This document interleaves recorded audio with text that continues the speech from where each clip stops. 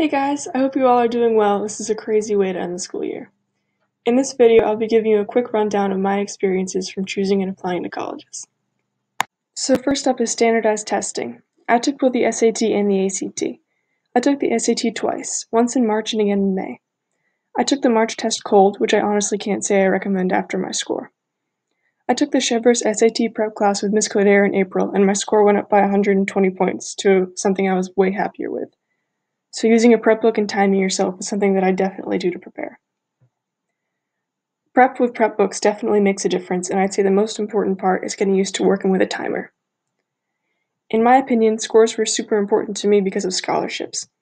I'm going to UMaine in the fall, and their merit scholarships are heavily reliant on SAT scores, so it's definitely not an exam to take lightly. On the flip side of that, other schools don't care as much, so it's really just about the colleges you're looking into.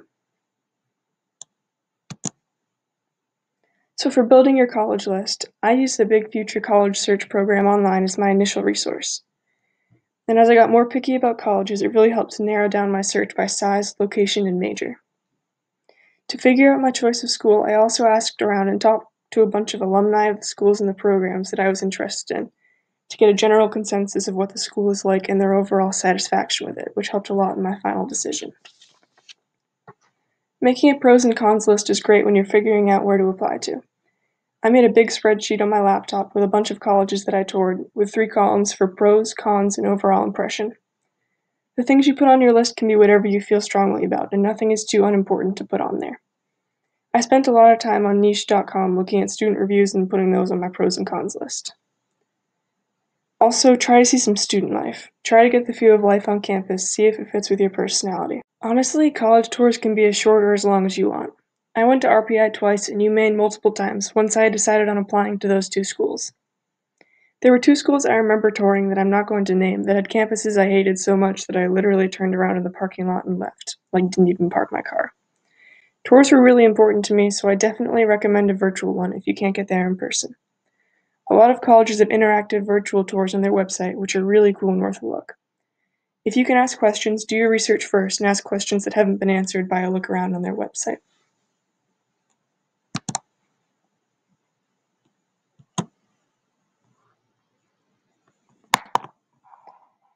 Here's a brief overview of some of the colleges that I've toured.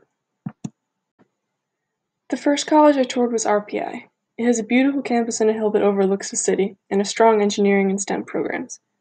There's lots of co-ops, such as the Summer Arch program, where you go away from campus for the summer. Campus feels safe, and the surrounding city of Troy feels kind of like Portland. They're highly focused on academic achievement during tours, but didn't seem to have as big of a campus life that I saw. The next school I toured was WPI. It was a really great tech school, and the campus is very self-contained while still being able to see the city around you. There's lots of colleges nearby, so it's more of a college town, and there's lots of stuff to do outside of studying.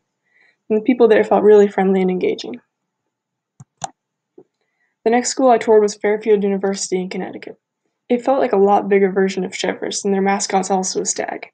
It's a Jesuit school as well, and they have lots of green space and sidewalks. It was a really pretty campus.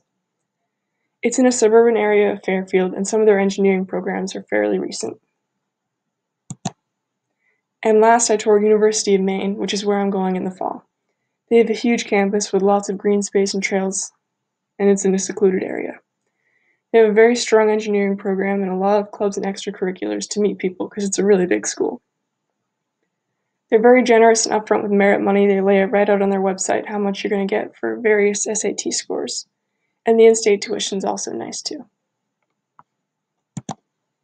And here's Brendan with his insight on some Catholic colleges.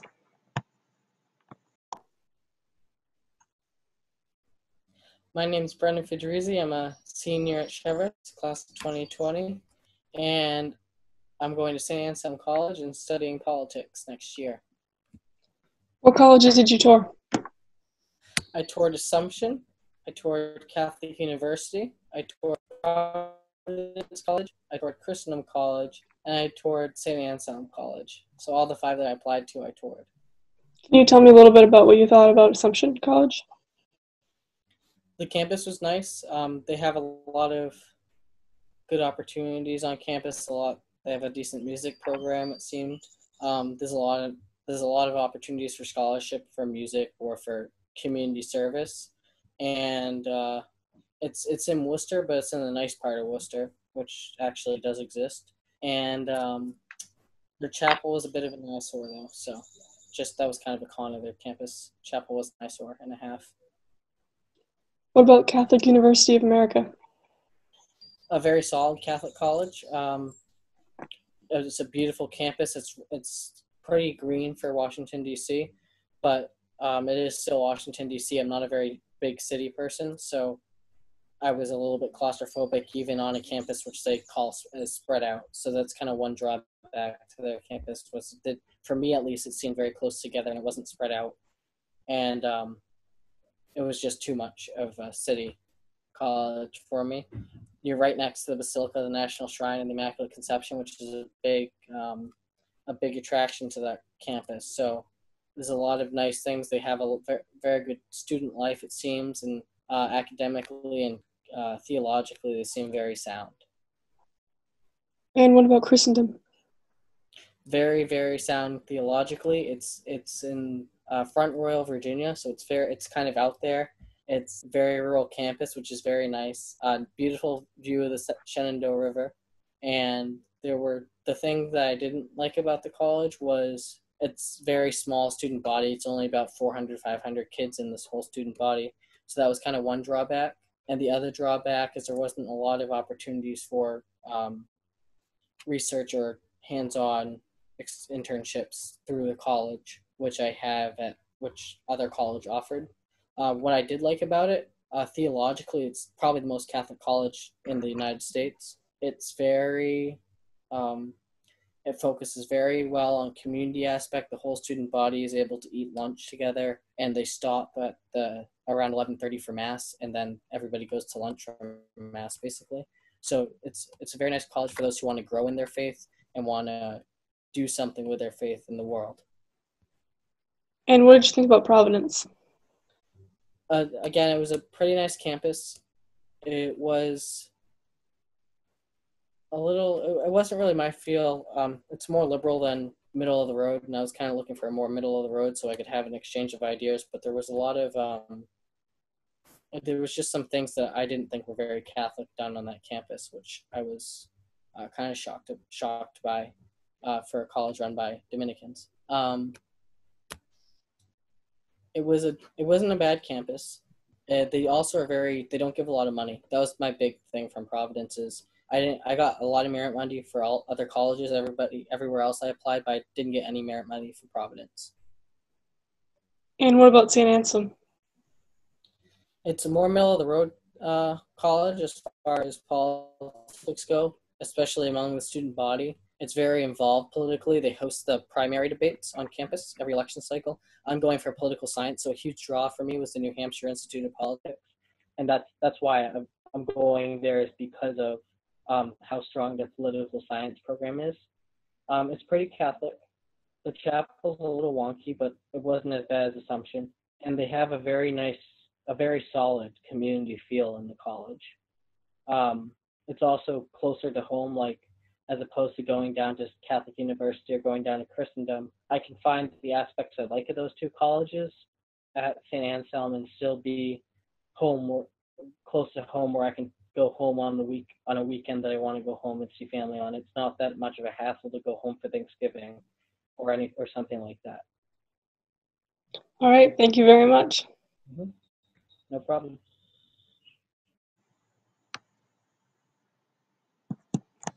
So next up is applying to colleges. I applied to two colleges. I definitely had more than enough options, so I was lucky to have the chance to be picky in the colleges that I applied to. In the fall when we were applying I was interested in both, but by the time winter and spring rolled around I was really only interested in one, and set on my first choice by then. I am glad that I applied to both, because in general, applying to a few that you're interested in is good because it keeps your options open. And then about college reps, the college rep for UMaine is super nice and friendly, so it was easy to talk to him early in the process, which made me a lot less nervous when I was applying for UMaine. I wouldn't put too much importance in a relationship with the college reps in general, but it is nice to have them if you're willing to talk with them a bit, because they are there to answer your questions. Next is dealing with parents. For me, it just boiled down to trying their, trying to answer their questions nicely. I kept them in the loop by showing them my college lists and listening to their advice.